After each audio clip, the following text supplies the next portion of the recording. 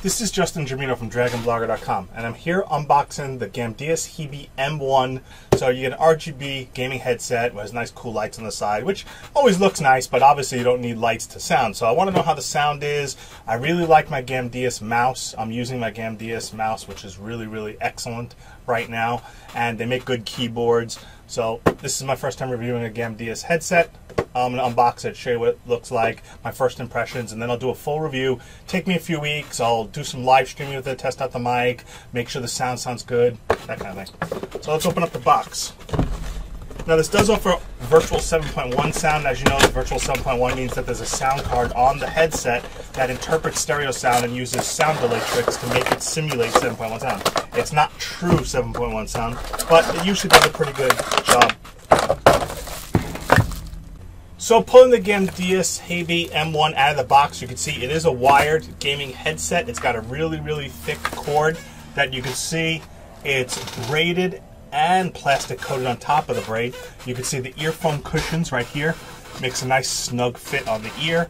The microphone off to the left retracts and extends to give you your microphone. It has a nice feel to it. The band on the head's really, really useful. Um, it has no weak points that would cause it to break. This is solid metal right here, very flexible. Look how wide I could stretch it without any risk of it damaging. It's got a lot of flexibility there, so can accommodate any size head with ease. You got your control box on it, which obviously has your mic mute on and off, that controls the lights on the side, your volume up and down buttons right here, and what appears to be I would guess this is your vibrations for creating vibrations for bass sound right here.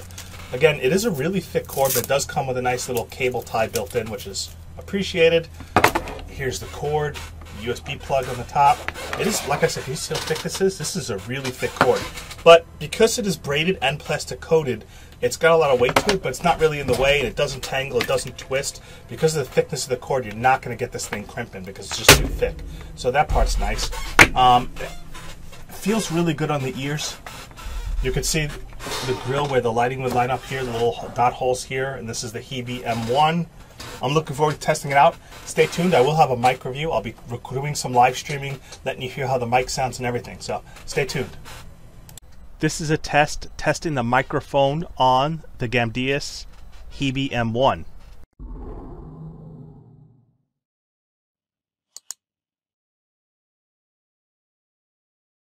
Disclaimer This product was provided to the author to do a review. All opinions are 100% authors and authors alone. For more information, visit bit.ly slash dbdisclose. To have your product or brand showcased on Dragon Blogger, visit bit.ly slash review my product. Thank you for watching.